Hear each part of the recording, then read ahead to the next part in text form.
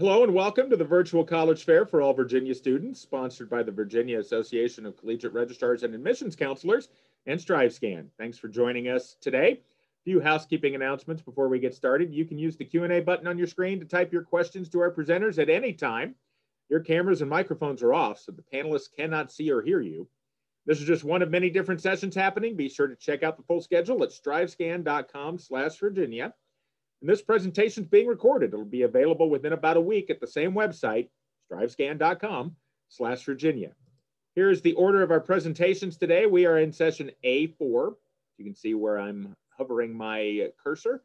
So those will be the schools presenting. Right now, we do not have the representative from West Liberty University here, but if they show up, we will have them present probably at the end of our session. All right, that is all of the housekeeping stuff. So I will step out of the way and turn it over to our first presentation from the Pennsylvania College of Technology. Thank you, Russ. I'll go ahead and share my screen. We'll get going here.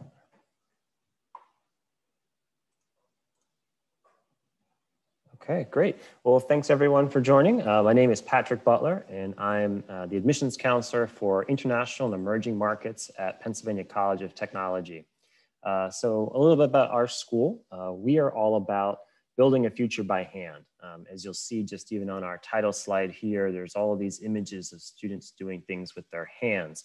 And that's what we're all about. Uh, in, our, in your first semester, in whatever program you decide to pursue, um, you're gonna be in the labs working with your hands on equipment. Uh, we believe that that's a really crucial part of you being successful, not only at your time in college, but really at your time after college when you get into that first um, or, or second job even. We are a public institution of about 5,000 students, and we are considered a special mission affiliate of Penn State University. But we are um, our own institution. So uh, when you graduate from us, while it will mention Penn State, you were getting that degree from Pennsylvania College of Technology. We have over 100 different majors, um, and these majors are spanning uh, real industry focused areas. And what I mean by that is we have industry advisory boards that are forming us on our curriculum, um, as well as which degrees we should even offer um, to make sure that they're applicable in today's marketplace. That really helps drive our 98% job placement rate. Um, so what that number really translates to is that our students are getting jobs as soon as they graduate. Um, they are being very successful and having a real impact on, on the world. Part of what's also driving that is the over 150 learning labs that we have on campus. These labs are outfitted with state-of-the-art equipment, the same equipment, software, and technology that you would find out in the real world setting. We believe learning on the exact same production size and scale equipment is important so that you're familiar with how things work in the field, and more importantly, how they break, so that you're able to fix it and work in those different, uh, different scenarios. And finally, we keep our class sizes relatively small, about 16 students in a class. Uh, and that's really important so that you get a lot of face time with the faculty, as well as uh, interaction with each other in the different lab environments. So in these labs, you're going to again have access to the latest technology. Uh, this slide gives you a little overview of some of our different labs that we have, our dental hygiene clinic, our construction labs, our aviation center, our culinary arts technology labs, as well as our brewing and fermentation science lab. That's just a real small sampling of all the great facilities that we have on campus. As I mentioned, we have 100 majors, uh, and these are spread across three academic schools. In the School of Business Arts and Sciences, you're going to find things like business administration and accounting, graphic design and emergency management and homeland security, as well as, of course, culinary arts technology.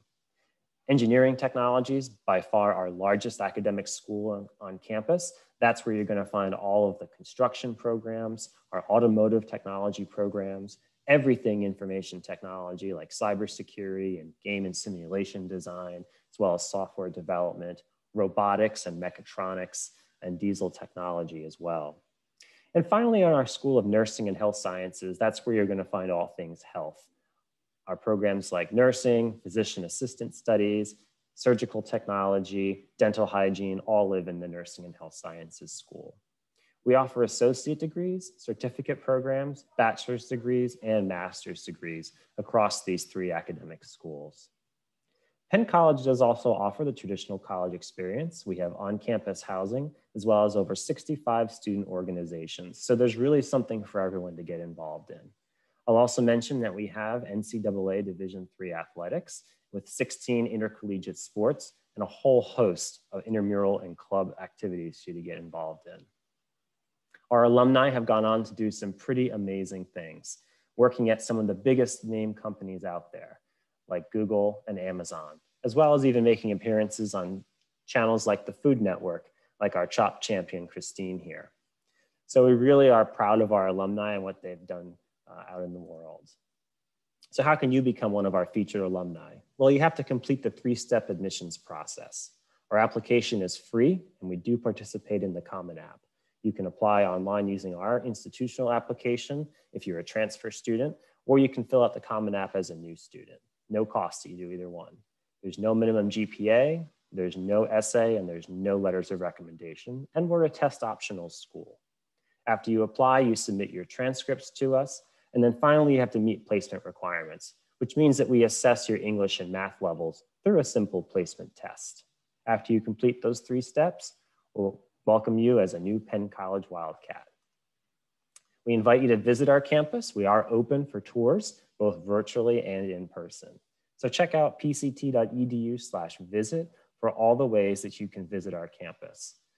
It's really a seeing is believing kind of a campus. Um, so I invite you to really come out and check us out. I want to thank you for your time and attention today and invite you to submit any questions that you may have through the Q&A feature.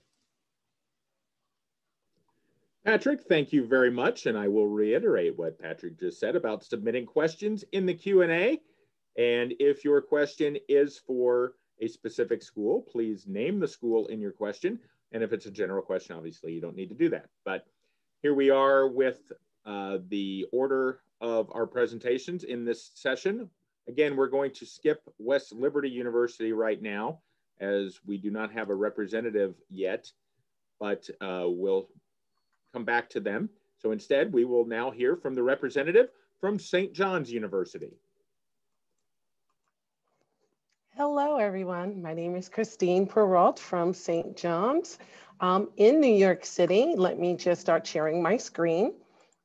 Um, here we go, and I'll start my slideshow presentation uh, from the beginning. So um, when you hear New York City, most people think of mid Manhattan in the middle of the city, an open campus. This picture right here is from taken from our Queens campus. It is a traditional campus 11 miles east of Manhattan. Um, as freshmen, students can choose to um, apply to two different campuses. We have the Staten Island campus and the Queens campus. The difference between the two is size. Staten Island has um, sits on 11 acres, has about 1,500 students and about 200 and 250 freshmen starting each year. Whereas the Queens campus sits on 100 acres, um, has about 15,000 undergraduate students, 3,000 freshmen. Um, it's a suburban urban campus. It's for students who are looking to be in the city but have a traditional campus environment. So um, it's the best of both worlds. We do have a Manhattan campus, but that's primarily for upper level business students, actuarial science, and risk management. Majors, over 100, ranging from accounting to undecided, undecided being one of our top five majors. Students can choose from four different tracks of undecided. So if a student is thinking some, something in the sciences like biology, chemistry, toxicology, biomedical sciences, they can choose BS undecided. If you're thinking business, but not sure what business major, because we do offer something like um, management, finance, risk management, um, accounting, economics, but you're really not sure which direction, you could pick BS undecided in that. We have a College of Professional Studies that has majors such as sport management, legal studies, criminal justice, computer science, homeland security, communications. You could choose BS undecided. And if you have no idea whatsoever, you could just choose BA undecided. Students are able to transfer from one major to another. Um, even though we are medium sized, we're able to maintain an average class of 25. So you're not having these huge lecture halls where you're taking attendance with a clicker or asking questions with a microphone. Um, the average test score of students getting accepted is about a 1200 and the average GPA is a 3.5 but we are test optional. We have been for the past five years, not only for admission, but also scholarship purposes. St. John's, even though we are Catholic, we are one of the most diverse universities in the country. So we're diverse not only in religion and color and culture and socioeconomic status, you could physically see that diversity on campus. We want our students to be global citizens. We encourage all our students to study abroad. Last year, we had close to 44% of our undergraduate students do a form of study abroad. Now we have our own campus in Rome and our own campus in Paris, but students are not only limited to those two campuses. But however, the most popular programs that students choose to do is called the Western, um, Western Europe Semester Abroad, where you would spend five weeks in our Paris campus and take two classes, five weeks in our Rome campus and take two classes, and five weeks in Ireland and take two classes. Whatever scholarships or financial aid you get would be applied to a full semester abroad. And freshmen are able to study abroad by doing a passport program where you would go to our Rome or Paris campus at the end of the semester. Now the end game is um, of our students six months after graduating were either employed or in grad school. The fact that we're in New York City gives you the opportunity to do internships year round. Um, you don't have to wait until the until the summer to do internships. Um, there are certain majors that internships are required, but it is encouraged for our students to do internships. A cool internship a student had last year from Virginia, one of our Virginia students, had an internship at the Jimmy Fallon show. Um, Division One sports, um, Big East. We are known for our basketball team. Half our home basketball games are played in Madison Square Garden. But last year we were number two in the country at a point in soccer, top 10 in fencing, and top 20 in baseball. We also offer intramurals as well as um, um, club sports again, I talked about how diverse we are. Our organizations reflects that. Um, we encourage all our students to be involved, to become involved. Um, the earlier, the better. It helps with the transition from high school to college. It enriches you as a person, but it can also enrich your pockets. So if you play an instrument and are in our pep band, you get money towards your tuition. If you're a student ambassador, student leader, student orientation leader, there is some form of compensation for students but we do also have sororities and camp, um, sororities and fraternities on campus. Speaking on campus, when I went to college, everyone shared a bathroom. It was cinder block walls, but our residence halls are fairly new. What we call traditional is two rooms connected by a bathroom or suite style living. Um, freshmen can pick their rooming as well as their room type and um, it is guaranteed your freshman year.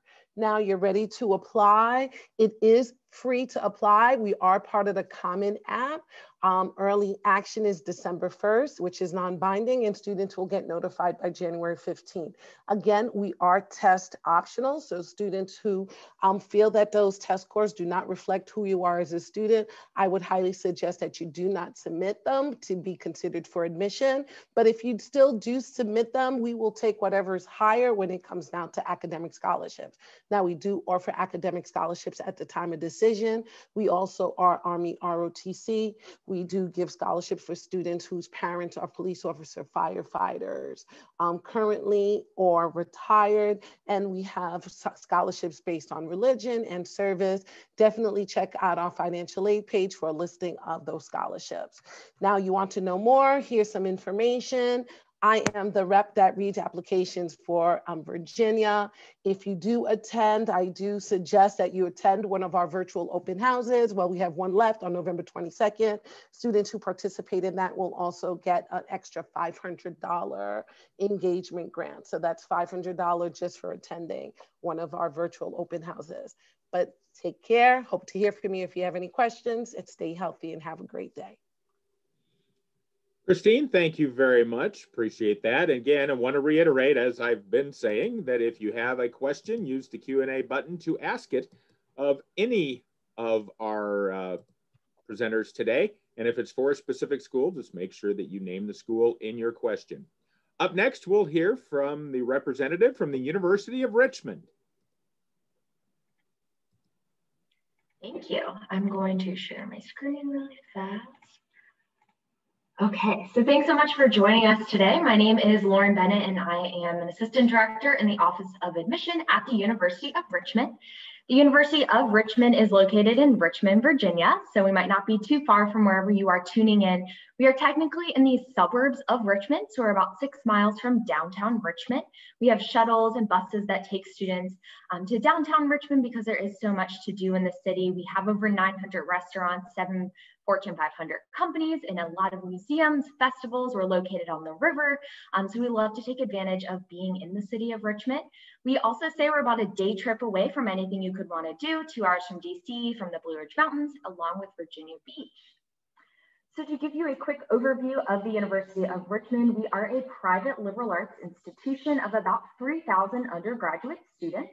Our average class size is around 17 students with 99% of our classes having 30 students or fewer. We have a lot of faculty to teach you along your way. We have an eight to one student to faculty ratio. So you're never gonna be one of 250 in a lecture style hall where a professor doesn't know your name. Most likely your professor will be your advisor, your mentor, you'll grab lunch with them, they'll write recommendation letters for you, or even help you find an internship or help with research. Around 70% of our students will conduct research before they graduate. Um, and since we are predominantly an undergraduate campus, you are getting graduate level research as an undergraduate student. So when our faculty are looking for students to help out, they're pulling from our undergraduate students.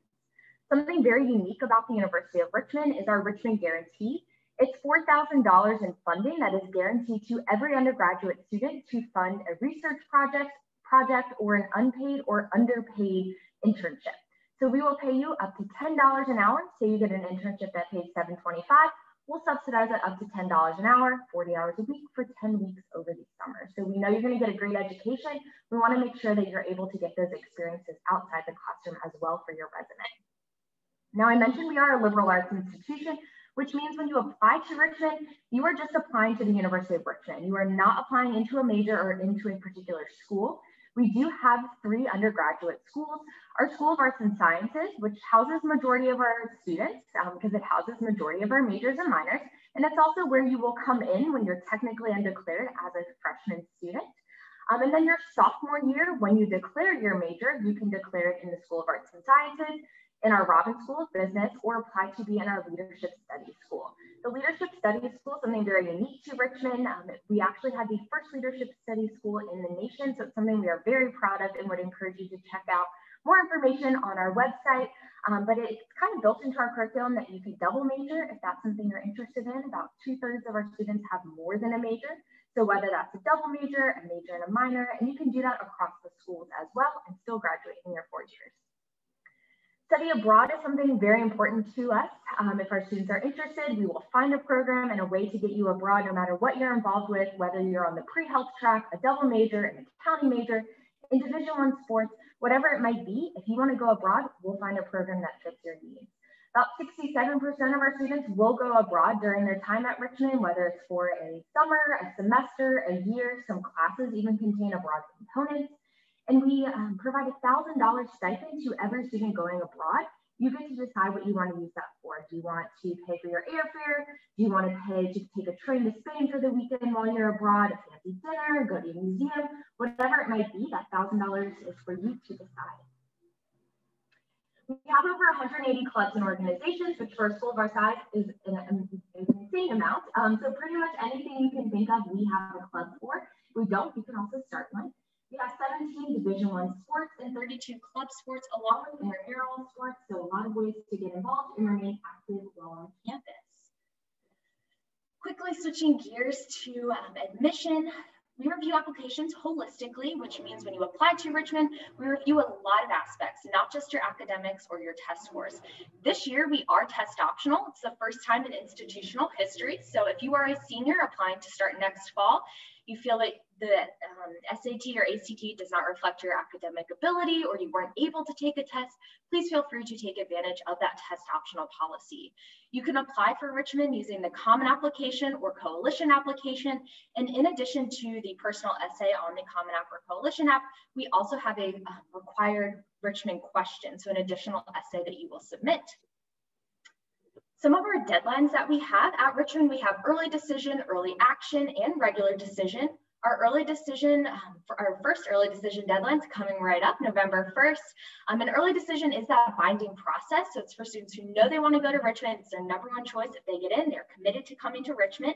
We also have early action, which is a non-binding, non-restrictive application plan.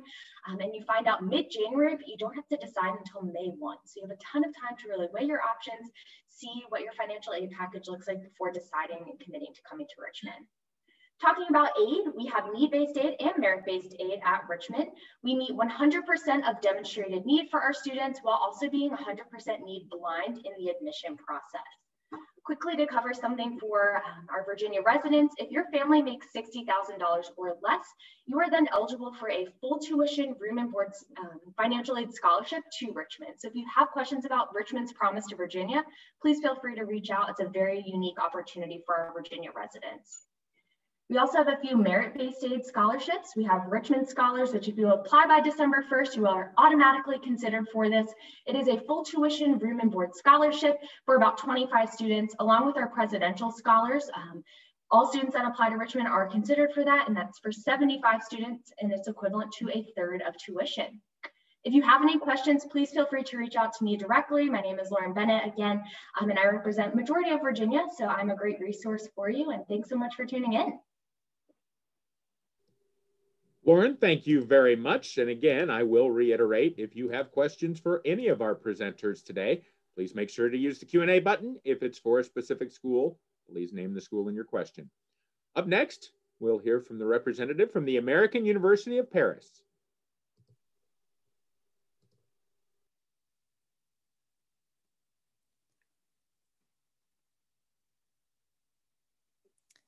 Bonjour, everyone. My name is Julie Sappington. I am the representative for the American University of Paris. I'm just sharing my screen here. Um, as you can see, we are located in Paris, France. That's often a question we get. It is in the title. So very much so. Um, we are what our title is. We are an American liberal arts university like you find in the United States, just located in Paris. Uh, our website's there on your page, aup.edu. You can always check us out there. And then I'm just going to direct you to our Instagram. That's at AUP Admissions. Uh, that's our handle. It's a really great place to get a firsthand view of what it's like to be a student at AUP because we often have student takeovers. And so you can, they have asked me anythings in the stories, and it's a great way to get a sense of AUP. Of course, I'll give you some details here as well. Okay, so like I mentioned, AUP is a private urban liberal arts university, and we're located in the very heart of Paris, France.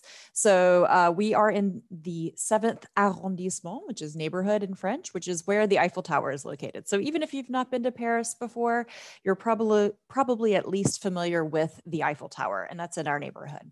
As I mentioned, we are an urban campus, and what that means is that, um, you know, between classes, you're going to be walking past the typical street scene of Paris. Uh, it's not like a campus that's enclosed and away from the city. You are at the heart of the city. And we do try to take advantage of that as much as possible in the classroom.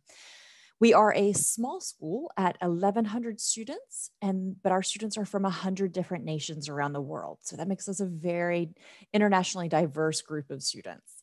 About half of our students come from the United States, 15% come from France itself, Another 15% come from the European nations around us, and then the rest are from all over the world. So, no matter what major you're taking, you're going to have just a variety of um, conversations in the classroom. There are going to be so many different perspectives that are represented by the, the different viewpoints from all around the world, no matter the topic. Um, so that comes to the small class size that I wanted to talk a little bit about being that we are a small university, we also have a small class size of um, typically you're going to have about 17 students in a class and maybe 10 different nationalities represented in that student class. Okay, just a little bit more about the uh, academic side of things. Our classes are in English, so you don't have to come with any sort of level of French um, to attend AUP. If you do not speak French already, that's okay. If you know bonjour and that's it, that's fine. You can come with uh, no level of French necessary. It's just that while you're with us, you would take some French language courses as a part of the curriculum if you don't speak it already. Um, so we have 26 different majors, 39 different minors. Uh, we are a liberal arts school that tends a little bit more towards the humanities and social sciences with our offerings. Largest majors are international business, global communications, and then that's followed by international and comparative politics and psychology. That being said, we also have an art history major that is phenomenal. It takes advantage of all the wonderful museums that are right there in our neighborhood, the Louvre, the Musée d'Orsay, the Rodin, any of those great museums. You're going to be looking at the art right there in front of you as a part of those classes. We have history, law, and society if you're looking for like an informal pre-law major. Um, we have computer science, we have environmental studies and quantitative environmental science. So there's a wide range of offerings there. Along with academics, our students embark on study trips where they travel all over the world with their professors and classmates. So again, that's us taking advantage of where we're located for the classroom. So some of these trips include, you're gonna see on this slide, we, our students have gone on a marketing trip to Iceland. There have been trips to Israel where they've studied social justice, law, and human rights. There's a sustainable development trip that go, take, goes to India every year. We have trips to Sweden to study sustainability, uh, politics in Belgium and Brussels, and art history in Italy as well. It's not just Paris, it turns out. Um, our students also take, our film students go to the Rotterdam Film Festival in Netherlands as well. Our 20,000 alumni are in 145 different countries around the world working for companies like Chanel, Google, and the United Nations. So we have a very vast alumni network, given that they're all over the world. Um, as it is an American bachelor's degree that you earn from AUP, it is widely accepted throughout the world. Um, we are in the Common App. If you're applying to other schools via the Common App, you can always add us there. These are some of our classroom buildings, just to give you a sense of what it looks like. We have clubs, we have sports, we have we take advantage of all the different um, things you can do in Paris, such as you know community service clubs and different sports teams and all of that. So uh, we'd love to have you come join us at AUP. And if you want to get more information than just a short little clip, like I said, go to aup.edu to learn more about our majors and our academics, but also see us on Instagram at AUP Admissions so that you can see what it's really like to be a student in Paris, one of the best cities on earth. Merci et passe une belle journée.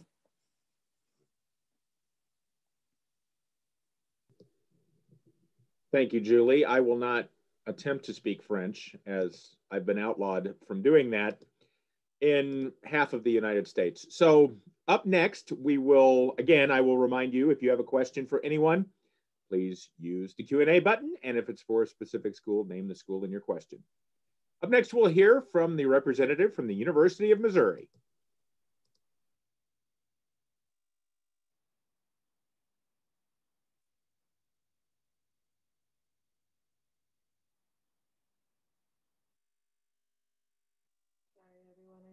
Showing my presenter mode.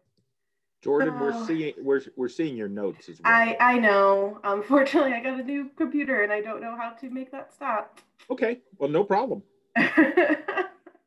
um. All right. Ah. Okay. Got it. Got it going now. All right. Uh, my name is Jordan. I'm with the University of Missouri, or most commonly referred to as Mizzou. Um, we are a large campus. We have about 30,000 students on campus, 24,000 of those being undergraduates, the rest graduate and doctorate students. We are one of six public universities to house a medical school, law school, and veterinary school, all on one campus. So we do have a lot going on. Uh, we do have tigers from all 50 states and over 120 countries. Uh, so there are a lot of different types of students that are joining us here in Columbia, Missouri. Columbia, Missouri, or Como for short, is where we are located. If you don't know anything about the state of Missouri, um, we are smack dab in the middle of the state, about an hour and a half from St. Louis and Kansas City are on either side of us. So um, we are not a major city, but we are a big college town. Uh, we do have a little over under 117,000 people living in Columbia, so there is a lot going on, uh, plus our 30,000 college students as well. So there's tons of festivals, lots of restaurants, um, lots of uh, live music venues. If you're into outdoors activities, tons of places for hiking, biking, uh, camping, anything you could be interested in there as well. My favorite thing about downtown Columbia is the fact that it's right across the street from our campus. So if you're on our quad and you're looking to go into the downtown area, all you have to do is walk across the street. Um, that really helps connect our campus community with our Columbia community as well. We do have over 300 academic programs on campus, so a lot to choose from for you. Those are housed in 13 different schools and colleges. Uh, you do not have to know what you want to major in. We do also offer a Discover program for those undecided students to try to help them um, figure out what it is they might want to study. Uh, but we do have some larger programs here. Some of our more popular programs are going to be our College of Engineering, um, our School of Health Professions, our College of Business, our School of Nursing, and um, our School of Journalism. We are home to the world's first and oldest School of Journalism. So if that's something of interest to you, Missouri should definitely be on your list. Uh, what we like to utilize here is something we've coined as the Missouri method. It is learning by doing. We want our students to come to campus and not only uh, obtain a college degree, but also a resume. And we want you to be out there and actively hands-on participating in whatever area you are interested in, whether that's through practicums, internships, or extracurricular activities. This year, we boasted our highest retention rate ever at 90%. So we think that means students are very happy here at Mizzou and they're wanting to come back um, after their freshman year. And right now we have a 92.7% successful career outcomes rate, which means uh, students are graduating from Mizzou, obtaining a job or going into graduate school within six months of graduation. So again, another very successful rate um, for us here. Fun fact for you all, we are home of the original homecoming. Um, so if you enjoy celebrating homecoming at your high school, you'll definitely enjoy our month-long celebration here on campus tons of fun events, um, blood drive, canned food drive, parade, all culminating in our homecoming football game. Uh, we are in the SEC, which is one of the best, if not the best, uh, college uh, sports conference. And we do have 20 different NCAA sports here on campus. So that adds a lot to our school spirit and camaraderie here. Um, it's very fun. Nothing beats an SEC game day. For our students applying to Mizzou, we have two application processes. Um, so our traditional process, you're gonna submit an application through either our university um, specific app or the common application. We'll need your official high school transcripts and your test scores sent directly from ACT or College Board if you have those. We know this year is weird as well, so we are offering a test optional policy for our students. So if you would like to apply without a test score, We'll still, still need that application, those official high school transcripts, but we'll also need a personal statement or and a resume from you for our test optional process. We do have a number of automatic merit-based scholarships for our students. So whether you're applying with a test score or without, we will automatically consider you for all of those merit-based scholarships. You don't have to worry about applying separately for any of those. And something I always like to talk to our, our out-of-state students about is our residency program. Missouri is the easiest state to gain residency in, so we do allow our out-of-state students to come to Mizzou, live on campus in a freshman dorm, and establish residency during their freshman year. Once you establish residency during that first year, you'll become a Missouri resident, and then you'll be able to pay uh, in-state tuition, which is about a $17,000 difference a year. So it's a really phenomenal program that really can only be found in the state of Missouri. We definitely want our out-of-state students to take advantage of that. Like I said, my name is Jordan. I'm the regional admissions representative here in Virginia. So I do live in Virginia. Um, my email is super simple. Just ask Jordan at missouri.edu. We are offering on-campus visits. Um, so if you want to come out to Missouri, you're more than welcome, but we do have a lot of different virtual um, visit options for you as well. We're offering overview sessions every day virtually, academic appointments virtually, one-on-one -on -one sessions virtually, and of course our virtual campus tours um, live with our tour guides as well. So we have a, a lot of options for you to still um, be able to visit us even during this crazy time. But thank you for listening to me today um, and go Tigers. Jordan, thank you very much. And I'm going to share the our schedule slide, even though we have heard all of our pre presentations from each of our representatives today. Again, West Liberty University was not able to make it into the session, but from the other five schools. But during this time, while I'm sharing the schedule slide, I would like to ask each of our representatives to come back on camera and unmute their microphone so we can do a quick little Q&A for not only our attendees right now who are live, but also um, who will access this video later when it's available. Um, do a little value added stuff here and um, I'll play radio or TV talk show host here and ask you some questions. But the first, and we'll answer in the, the reason I was sharing the schedule, I'll do it again, just real quick to remind everyone. We'll go in the same order that you presented, just a round robin asking or answering this these different questions. And the first question I have is a real simple one. Basically, your what is your favorite campus or school tradition? That's what's your what's your favorite at your particular school? And again, we will start with uh, Pennsylvania College of Technology. So uh, our college is located in Williamsport, Pennsylvania, which is actually the home of Little League Baseball. So every year in August, um, the Little League World Series comes to our town, and uh, we're very actively involved in, uh, in hosting some events on campus and welcoming people from literally all over the world to our little town, which is a really exciting thing. And it coincides with the uh, start of classes and the first few days that students move in, which is really exciting. Awesome. Uh, next up, uh, St. John's.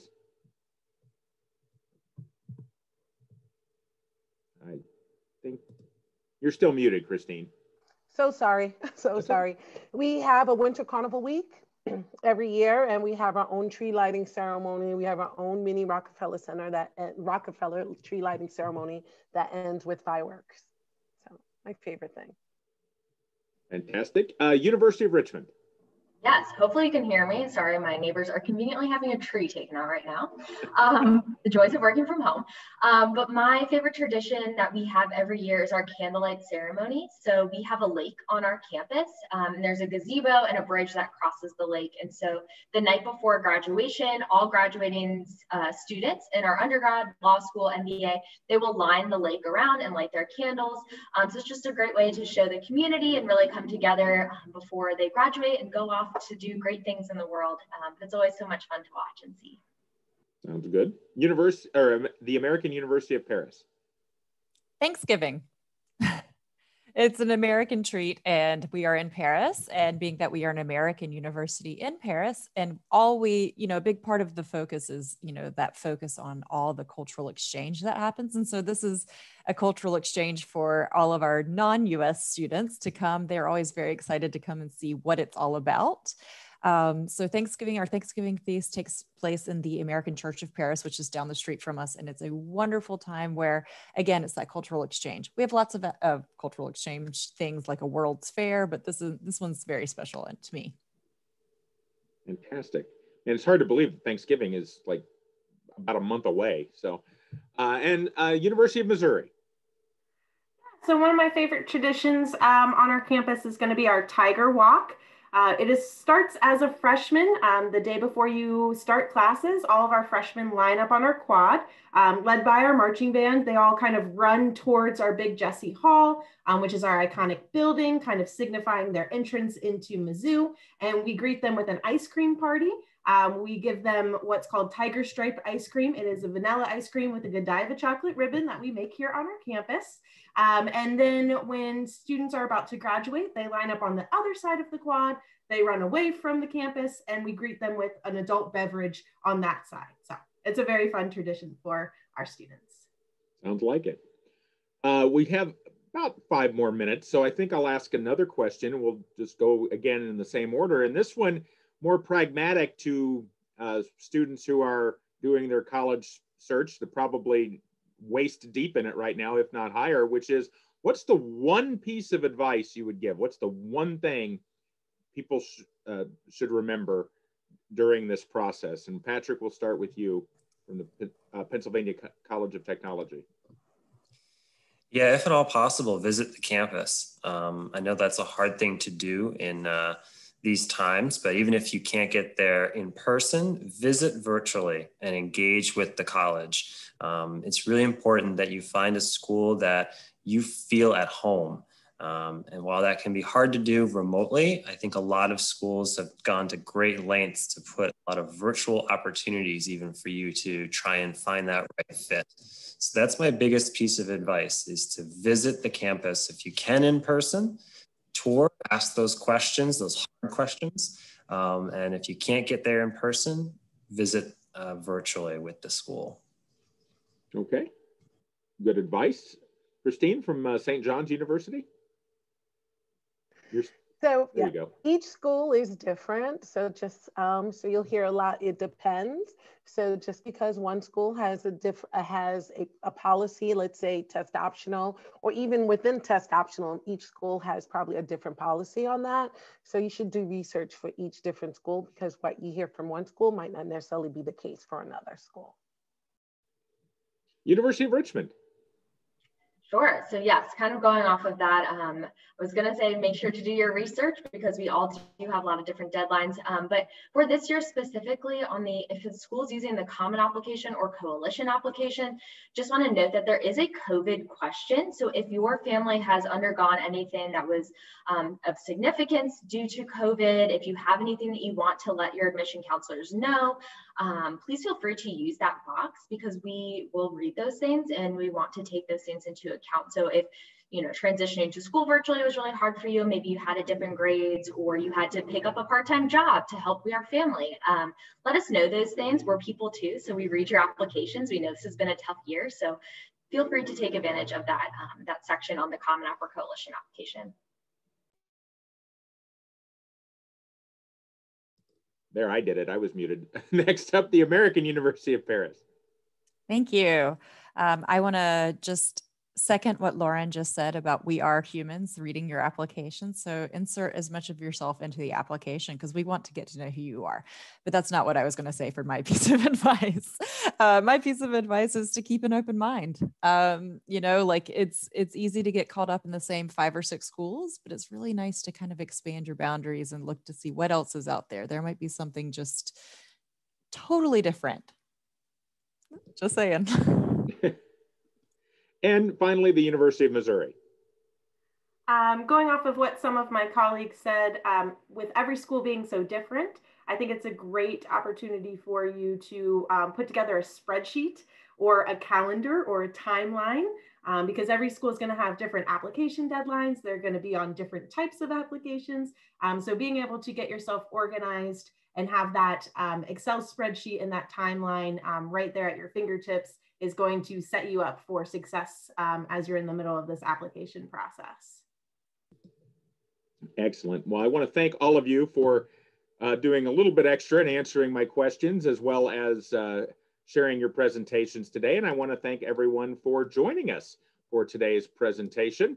When you close this window, there'll be a link to a very quick four question survey. We'd appreciate any feedback you can provide. Also, this is just one of many sessions being hosted. Uh, please uh, make sure to sign up for others where you signed up for this one at strive, strivescan.com slash Virginia. And this presentation was recorded and you'll be able to find the sessions recording in about a week, as well as all of the other session recordings, once again, at strivescan.com slash Virginia. One more time, I want to thank each of our representatives for presenting today, and I want to thank you for joining us. Have a great rest of your Tuesday.